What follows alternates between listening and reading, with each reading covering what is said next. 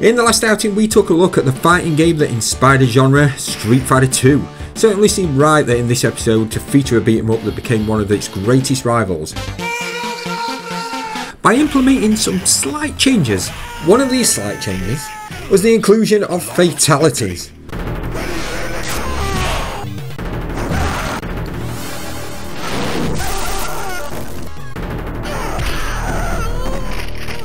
These gory finishing modes had kids itching to come back and play the game.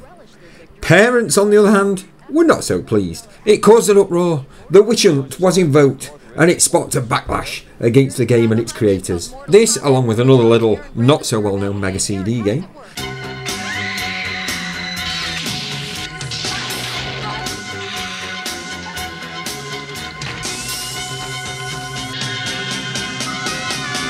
was one of the main reasons that today we have the video game rating system, similar to the film rating system of PG 12, 15, 16, etc.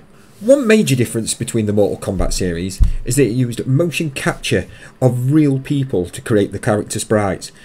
The developers were a huge fan of Jean Claude Van Damme and one movie in particular, Bloodsport. So much so, they actually asked him if he would like to be one of the characters in the game, to which he declined. Unlucky, John. Wonder where you are now.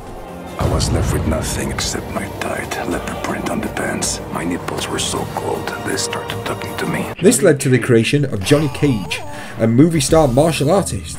They even included his special move, a leg split and a punch to the nuts, just as a little nod to Bloodsport and Van Damme.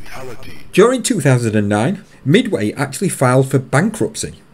However, the Mortal Kombat development team were purchased by Warner Brothers Studios and re-established the Mortal Kombat franchise under NetherRealm Studios as we know of it today, led by industry veteran and Mortal Kombat co-creator Ed Boon.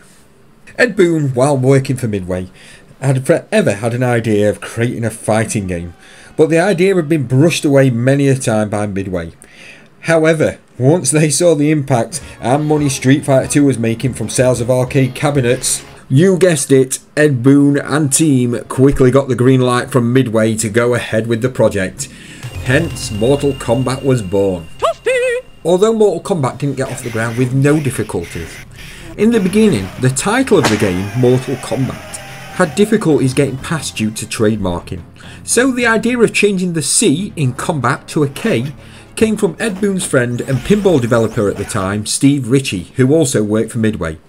So they ran with it, even changing most of the C's to the K's throughout the series of the games, giving it a little nod to the joke of the title.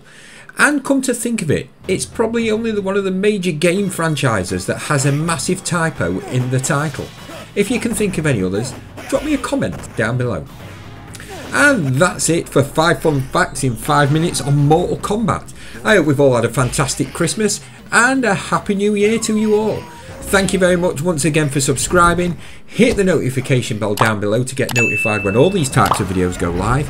And once again, stay safe, peace, and I'll see you in the next one.